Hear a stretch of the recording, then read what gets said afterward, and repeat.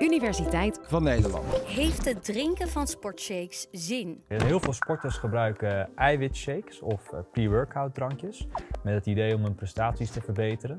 Ik ga jullie vertellen wat de zin en onzin is van het supplementeren met eiwitten en pre-workout shakes. We gaan beginnen met eiwitshakes. Nou, eiwitten bestaan uit aminozuren en die aminozuren zijn essentieel. Dat zijn eigenlijk de bouwstenen die zorgen voor spiergroei en spierherstel. Kijk, je maakt een aanspraak op je spieren op het moment dat je aan het sporten bent. Maar vooral als je je grenzen opzoekt, dan maak je eigenlijk op microniveau een heel klein beetje schade in die spier. Wees niet bang, dit is gecontroleerde schade. Maar die schade moet natuurlijk wel weer hersteld worden. En dat herstellen kan dus door middel van eiwitten. Door middel van de aminozuren die in de eiwitten zitten, zal de spier weer uiteindelijk herstellen, groeien en beter worden in kwaliteit. Hoeveel eiwit je nodig hebt voor het sporten verschilt een beetje per type sport die je doet. Uiteindelijk komt het neer op zo'n 1,2 tot 2 gram eiwit per kilogram lichaamsgewicht. De aanbeveling is dan om dit te verdelen over het aantal eetmomenten over de dag. En dan pak je zo'n 0,3 tot 0,4 gram per keer. Nou, ben je 70 kilo zoals ik, uh, dan is dat zo'n 21 tot 28 gram eiwit per eetmoment. Nou, zoals je ziet uh, grijpen de producten die worden aangeboden daar ook op aan. Die bieden zo'n 20 tot 25 gram eiwit per keer aan. Dus eigenlijk wat men denkt het ideale gehalte. Nou, eiwitten kun je halen uit je basisvoeding, zoals uit nootjes, uit ei, kwark, bonen, kikkererwten, uh, kipfilet en kaas. Dus eigenlijk je basisvoeding. Ik heb hier een shake met heel veel eiwitten. Laten we zeggen dat vier van de blokjes is in totaal 20 gram eiwit. Nou, als je dan 20 gram eiwit wil, dan kun je kijken hoeveel, hoeveel eiwit zit er nou in deze producten. Nou, in de nootjes zit zo'n 20 gram per 100 gram. In kaas zit zelfs 30 gram per 100 gram. In de hele pot kwark zit zo'n 30 gram eiwit. En in de plantaardige eiwitten die we hier hebben, in de erwten en bonen, zit zo'n 7 à 10 gram per 100 gram. En in de kip zit weer 20 gram. Als we het dan heel concreet maken, je bent op zoek naar 20 gram eiwit, pak je drie eieren.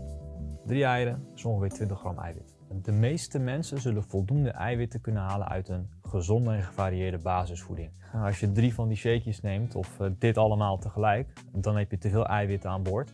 Maar dat is voor de meeste mensen geen probleem. Dat plas je gewoon weer uit. Men dacht vroeger altijd dat het belangrijk is om relatief kort na je workout snel te supplementeren met eiwitten.